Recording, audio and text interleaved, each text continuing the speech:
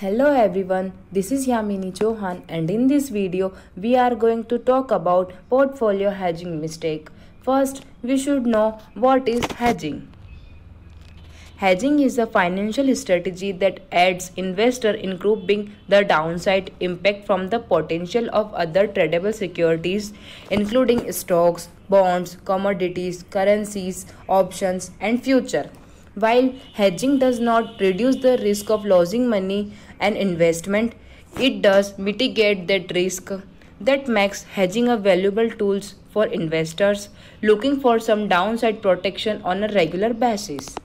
Typically, hedging is a considered a risk management strategy as its primary goals is to cut or severely reduce the risk of losing money investment due to market uncertainty investment prices and flow sometimes dramatically. So all the time hedging offsets those uncertainty risk by ducking those larger trading losses and locking in a profit on a specific trade. In layman's terms that means hedging is a single asset or investment by investing in another asset or investment to protect against the loss of money. Now, here are some most common hedging mistake. We know longer hedge because we always lost money. Hedging is not supposed to be a source of income. A well-designed energy hedging strategy should, depending on whether you are a producer, marketer or consumer, provide one or more of the following.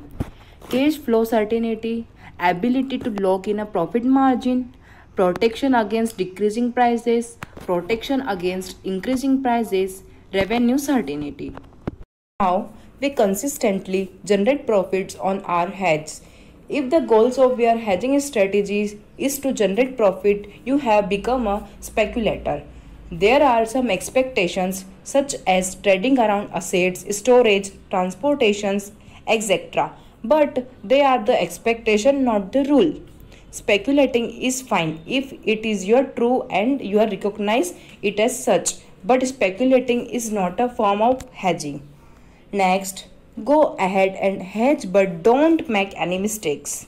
The vast majority of hedging mistakes are the result of a poor of non-existent energy risk management policy and the lack of a sound hedging strategies. Most hedging mistake can be avoided if you take the time and effort to create a proper risk management policy and develop and implement strategy that allow you to meet your hedging goals and objectives.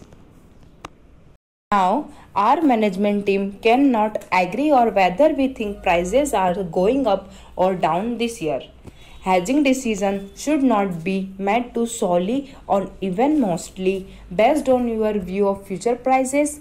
If it were so easy to predict energy prices, we would all be relaxing in the islands counting our money. Thank you.